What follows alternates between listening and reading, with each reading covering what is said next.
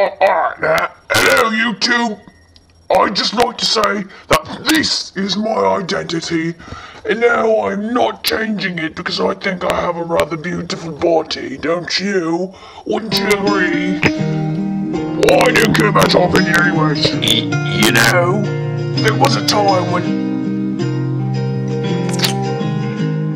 I didn't have my My my beautiful mustache.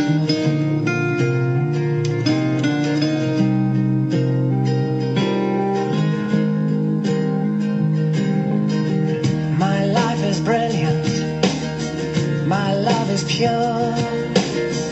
I saw an angel. God save the Queen, it's an angel. She smiled at me on the subway. Mustache for mine, that's a beauty right there.